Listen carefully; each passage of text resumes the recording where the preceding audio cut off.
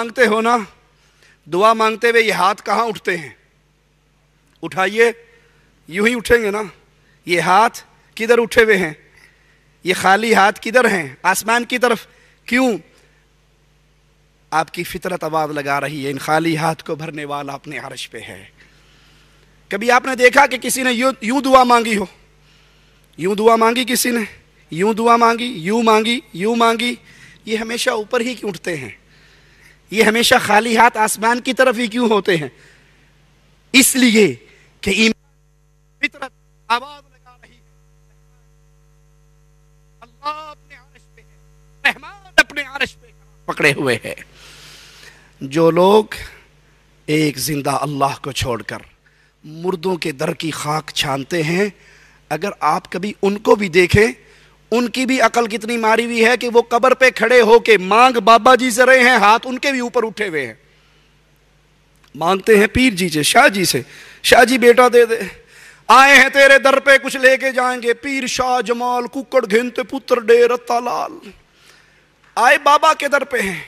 मांग बाबा से रहे हैं, हाथ ऊपर उठे हुए हैं। भाई, तुम्हारा अकीदा है कि ये हज़रत, ये पहले जब मरा था, अस्तंजा ना कर सका था।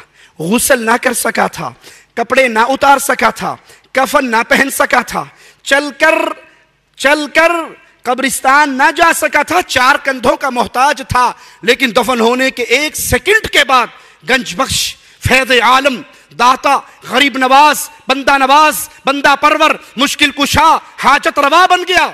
तो आप इस हाजत रवा साहब से मांग रहे हो, अपना हाथ तो उल्टा कर लो, बाबा जी से मांगना है ना तो यूँ करके मांगो, बाबा जी दे दे। आए हैं तेरे दर पे, कुछ लेके जाएँगे। बाबा जी, कट दे जड़ी शायद कटनी, कोई नहीं वेखंडिया ये खाली हाथ ऊपर क्यों उठे हैं? तेरी भी फितरत सलीमा आवाज़ लगा रही है इन खाली हाथों को भरने वाला। अल्लाह अपनी जात के एतबार से अपने अरश पे है, जैसे उसकी शान के लायक है। इमाम मालिक फरमाते हैं, अल्लाह का अरश पे मुस्तवी होना, उस पर ईमान है। वो अरश पे मुस्तवी है। इसके बारे में सवाल करना बिदत है। ईमान लाना वाजिब है।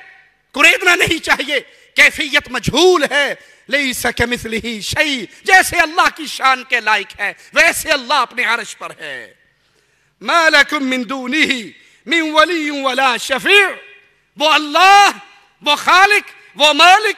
उसके अलावा ना तुम्हारा कोई मददगार है और ना तुम्हारा कोई सफारशी है। उस अल्लाह की इजाज़त के बगैर ना कोई सफारिश कर सकता है, ना कोई मदद कर सकता है। अफला तुम नसीहत क्यों नहीं हासिल करते? वो मददगार भी है, वो मदद करने वाला, जिसने मोहम्मद सलाम की बदर में मदद की थी। वो मदद करने वाला, जिसने मोहम्मद सलाम की हुनैन में मदद की थी। वो मदद करने वाला जिसने सैयदा आयशा रज़ी अल्लाह तहा की मदद की थी। वो मदद करने वाला जिसने अली की खैबर के मैदान में मदद की थी। वो मदद करने वाला जिसने यूनस सलाम की मछली के पेट में मदद की थी।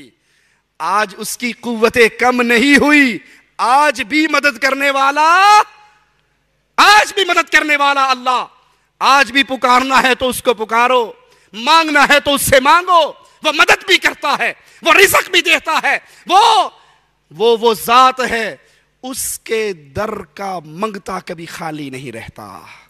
उसके दर का मंगता कभी भूखा नहीं रहता। उसके दर का सवाली कभी फकीर नहीं रहता। आप दुआएँ मांगे, अल्लाह चाहे, जो आपने मांगा वो आपको अता कर दे। आपकी दुआओं की वजह से अल्लाह आपकी परेशानियों को टाल दे। आपको वो भी नहीं मिला, वो भी नहीं मिला। फिर भी आपकी दुआ खाली नहीं की, क्यामत के दिन नेकिए बना के अल्लाह आपको अता कर देगा। रब के दर का मंगता खाली, गैरों के दर का मंगता खाली रहता है।